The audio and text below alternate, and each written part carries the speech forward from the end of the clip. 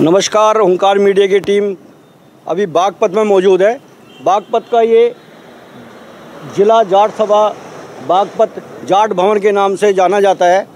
और यहाँ जो धर्मपाल सिंह चेयरमैन है या इसके, और देवेंद्र धामा अध्यक्ष हैं, एडवोकेट गजेंद्र सिंह महासचिव है। यहाँ मीटिंग चल रही है। अभी इसमें कुछ काम भी चल रहा है। यहाँ लोगों से बात करेंगे। निर्माण का कार्य चल रहा है। और यहाँ लोगों से बात भी करेंगे कि जाट भवन के अंदर जो काम चल रहा है, किनके सौजन्य से चल रहा था, ये भी बात करेंगे इसके मुद्दे पर और किस तरह की यहाँ मीटिंगें होती है, इस पर भी बात करेंगे। आइए मैं अंदर चलता हूँ और यहाँ जो देवेंद्र धामा अध्यक्ष हैं, उनसे भी बात करेंगे, चेयरमैन साहब से भी बात करेंगे कि जाट भवन के अंदर हम मौजूद हैं। यहाँ सब पदाधिकारी पदाधिकारी बैठे हैं जाट भवन के। सबसे पहले अध्यक्ष और चेयरमैन साहब से बात करेंगे। तो क्या नाम है साहब आपका? देवेंद्र दामा। तो आप यहाँ के अध्यक्ष हैं भवन के। जी जी जी। तो ये जो कार्य चल रहा है जाट सभा के जो जाट भवन है जाट सभा भवन जो है ये जाट भवन के नाम से कहा जाता है। जिला जाट सभा बागपत है। जिला जाट सभा बागपत है। और जाट भवन के नाम से ये जगह जानी जाती है। हमने जो विधानसभा चुनाव भी कवर किया था या मीटिंगें भी बहुत सारी हुई थी जाट भवन में उस पर भी चर्चा करेंगे। तो अभी जो ये कार्य चल रहा है जो विकास कार्य चल रहा है किसके माध्यम से चल रहा है? ये सब कमेटी की तरफ़ से है जो जाट भाइयों ने जाट सभी ने चंदा दिया है चंदे के माध्यम से इसका जो नवनीकरण कराया जा रहा है। जो बात करते हैं हम लोग कि जाटों के अंदर एकता बहुत होती है वो यहाँ चीज़ देखने को मिल रही है कि जाट जो भवन है जाट जिला जिला जाट सभा भवन है यहाँ जो जाट समाज के सब सब लोग बैठे हुए हैं इनका यही कहना है कि जाट भवन जो ये चलता है जाट जो लोग बैठे हैं सब आपस में चंदा करके इसको चला इसको चलाते हैं। तो ये जो अभी काम चल रहा है ये कमेटी की तरफ़ से चल रहा है। ये कमेटी का सिर्फ़ कार्य इनका करने का है देख रेख का है लेकिन जो जाट समाज के लोग हैं चाहे वो किसान हैं चाहे व्यापारी वर्ग से है जिन्होंने चंदा दिया है उनका पैसा एकत्रित होकर उसी से ये बहुत बड़ी बात देखने को यह मिल रही है। यहाँ से जो सांसद है वो भी जाट जाट समाज से है जो विधायक है वो भी जाट समाज से हैं। लेकिन जाट समाज जो जाट भवन जो है ये ये पर्सनल जाटों के पैसे से चलता है ये चीज़ यहाँ देखने को मिल रही है। तो अभी ये काम चल रहा है कितने स्तर पर और लेंटर भी डलेंगे इसके ऊपर? इसमें जो नवनीकरण का कार्य है जो इसमें पुताई है सौंदर्यकरण है सिर्फ़ अभी वो हो रहा है। अभी कमेटी एक महीना डेढ़ महीना पहले कमेटी बनी ये है जो देख रहे हैं चौधरी चरण सिंह पूर्व प्रधानमंत्री रहे हैं उनके सपनों को साकार करते जो करते हुए ये जाट लोग हैं ये नज़र आ रहे हैं। कि चौधरी चरण सिंह का जो सपना देखा था वो साकार होता हुआ दिखा दिखाई दे रहा है। ये जो चौधरी मान्य चरण सिंह जी हैं ये खाली जाटों के नेता नहीं ये किसान मसीहा हैं।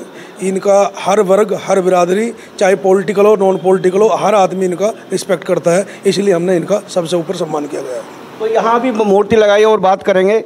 अंदर भी एक बहुत बड़ी स्टेचू है उस पर आगे आइए एक बार बात करते हैं कि जो देखने को मिल रहा जाट भवन मैं दिखाऊँगा आपको। कितनी बढ़िया तरीके से ये बनाया गया है और सौंदर्यकरण भी इसका हो रहा है दोबारा से पहले बना था उस पर भी बात करेंगे कब बना था। तो आपका क्या नाम है साहब? मेरा डॉक्टर महावीर सिंह। महावीर सिंह जी? हाँ। ये कौन से सन में बना था ये? ये सन पिचासी में जाट सभा बागपत का जो है ना रजिस्ट्रेशन सोसाइटी एक्ट में कराया गया था। और 15 दिसंबर जो है ना उन्नीस को इसकी ज़मीन का जो है ना रजिस्ट्री कराई गई थी। तब मैं महामंत्री था जाट महासभा का। यहाँ हमने महसूस किया था कि हमारा एक जाट मीटिंग करने के लिए एक जगह ऐसी होनी चाहिए जिसमें हम अपनी निजी जगह पर मीटिंग कर सकें। उसी के उद्देश्य से ये जना भवन शुरू किया गया था और आज ये बहुत अच्छी धामा से फिर दोबारा बात करेंगे। आप जाट महासभा जो है जिला महासभा जाट भवन का आप अध्यक्ष हैं। तो ये जो नवी नवीनीकरण जो हो रहा है दोबारा से इससे पहले कब बना था? कौन से सन में बना था? 85 में। एट्टी फाइव में बना था। जी। अब जो दोबारा से ये नवीनीकरण आप कर रहे हो जी। ये भी अपनी कमेटी के माध्यम से कर रहे हैं? कमेटी के माध्यम से सभी हमारी पचास इक्यावन लोगों की कमेटी है और ये अलग अलग जगह जाके चंदा इकट्ठा करते हैं। इसको कोई एक निजी आदमी भी बना सकता है लेकिन उससे फिर एक उसकी भवन की बिरादरी की गरिमा को ठेस लगती है। ये निजी आदमी का नहीं है किसी का ये हमारे के अंदर अवेयरनेस लाने के लिए आप समय समय पर जो लोग हैं सब जो कमेटी में जुड़े हुए हैं वो हमेशा सहयोग करते हैं काम करते हैं। क्या नाम है साहब आपका? नगेंद्र सिंह।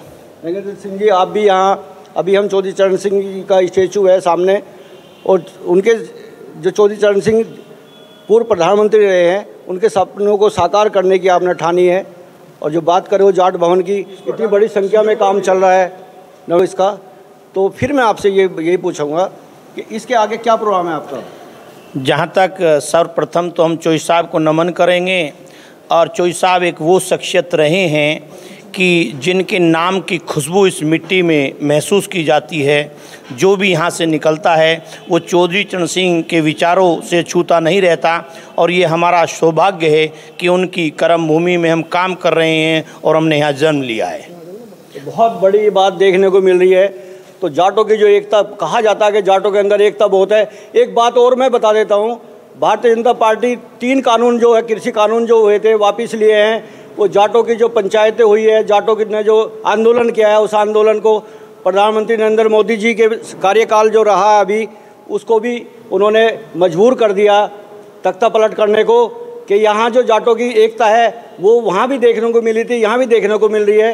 तीन कृषि कानून वापस लेकर के जो हमारे देश के प्रधानमंत्री है उन्होंने कृषि कानून वापस लिए थे आपके सामने। जी।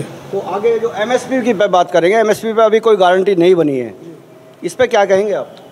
हमारा जो जाट समाज है अब जिस भवन में हम खड़े हैं ये जाट प्रांगण जाट मंदिर है। इसमें हम कोई भी पॉलिटिकल बात नहीं करेंगे। अच्छा अच्छा। जी। बहुत बड़ी बात देखने को मिल रही है कि जाटों की जो एकता है वो देखने को यहाँ मिल रही है। बहुत अच्छी बात आपने कही है कि पॉलिटिकल बात यहाँ नहीं करेंगे। कुछ और लोग भी मौजूद है। आपका क्या नाम है साहब? कृष्ण पाल जी। कृष्ण पाल जी आप भी सही हो आप भी कमेटी के मेंबर हैं। जी कमेटी का मेंबर ये हूँ भी कमेटी के मेंबर हैं ये भी चाहते हैं। आपका क्या नाम है साहब? मैं एडवोकेट गजेंद्र सिंह हेवा महासचिव जिला जाट सभा बागपत। हमारी जाट सभा का मुख्य उद्देश्य समाज की एकता को बनाए रखना है। हमारी कमेटी ने निर्णय लिया है कि हम सिर्फ़ अपने समाज के लिए ही नहीं बल्कि दूसरा समाज भी अगर हमें सहयोग के लिए आता है हमारे पास में हम उनका भी सहयोग करेंगे हर तरह से। बहुत बड़ी बात देखने को मिल रही है। जो एक तक की मिसाल कहा जाता है वो चीज़ यहाँ देखने को मिल रही है। जाट भवन के अंदर यहाँ सब लोग मौजूद है और भी कई लोग यहाँ उपस्थित हैं इनसे ही बात करेंगे। आप कौन से गाँव से कहाँ से आप आप भी मैं राम निवास गाँव बागू वरिष्ठ उपाध्यक्ष। तो आप भी यहाँ कमेटी से जुड़े हुए हैं। ये सब लोग कमेटी से जुड़े हुए हैं। इक्यावन लोगों की कमेटी बनाई गई। जैसा अभी अध्यक्ष जी ने बताया मेरे से इक्यावन लोगों की कमेटी हम ही निर्णय लेते हैं। हम ही यहाँ सब आपस में जो आप कहाँ से हैं? मैं गाँव अट्ठा से हूँ और युवा विंग का जिला अध्यक्ष नियुक्त किया गया है मुझे समाज द्वारा। अच्छा। तो जाट भवन जो बन रहा है ये जिला जाट भवन बन रहा है इसमें आपका भी सहयोग होता होगा?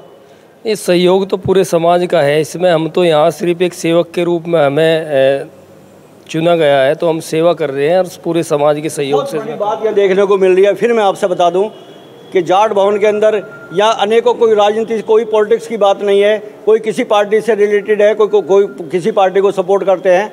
इसमें सबसे बड़ी बात देखने को मिली कि पॉलिटिकल बात नहीं है। भाईचारे एकता की बात वहाँ मिसाल जो कही जाती है जाटों के अंदर वो देखने को यहाँ मिल रही है। अगली बार फिर बात करेंगे यहाँ हमारे भवन पर महासचिव जी का नंबर लिखा हुआ है बोर्ड पे। अगर रात के 12 बजे एक बजे भी कोई बुज़ुर्ग महिला बच्चा या कोई भी किसी को बस ना मिले ट्रेन ना मिले या कोई कोचिंग का बच्चा या कोई भी है। बहुत बड़ी बात इन्होंने कही है के किसी भी किसी भी आदमी को किसी बेटी को बहन को बच्चे को परेशानी हो तो यहाँ आकर के।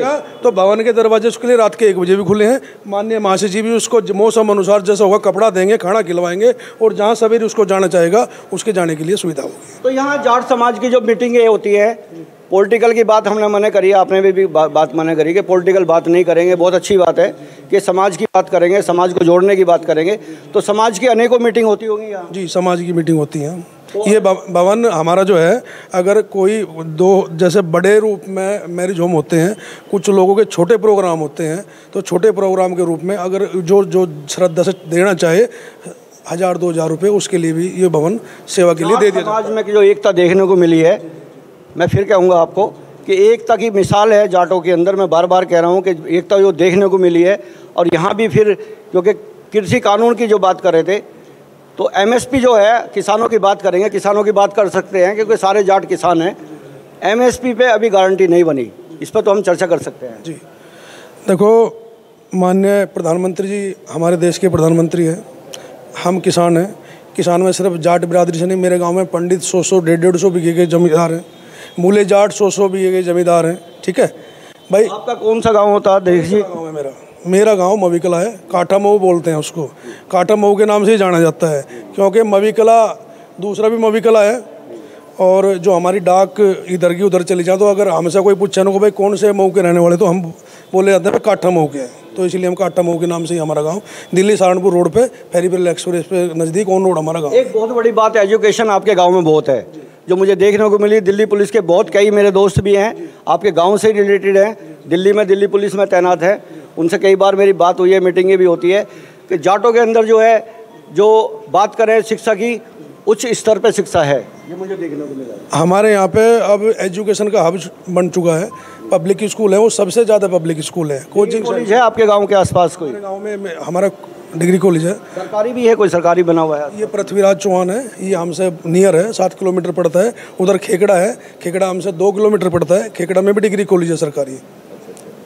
तो ये थे हमारे साथ जिला जाट भवन में जो जाटों की एकता कही जाती है वो यहाँ भी देखने को मिली है।